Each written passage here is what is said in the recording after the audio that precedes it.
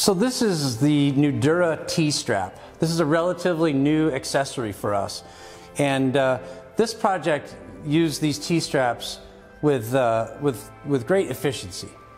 And one of the reasons that this, this works so well is that it actually eliminates the need to have multiple vertical stack joints in a building like this. So this building, I don't know, it's over 100 feet long, but all they had to do was make one vertical joint in the wall.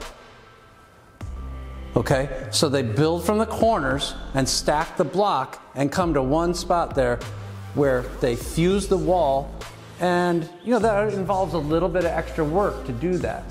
Normally, if you used T-forms to form these T's, you would have to have a vertical stack joint in every single one of these rooms. But instead, what we do is we just cut into the wall and then we make a little incision for the T-strap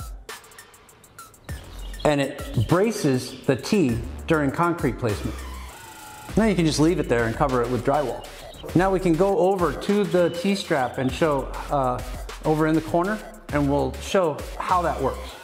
Here's the T. This is the main wall. This is the T.